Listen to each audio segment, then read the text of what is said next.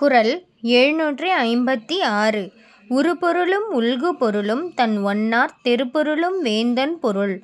இறையாக வந்து சேரும் பொருளும் சுங்கமாகக் கொள்ளும் பொருளும் தன் பகைவரை வென்று திறமையாகக் கொள்ளும் பொருளும் அரசனுடைய பொருள்களாகும்.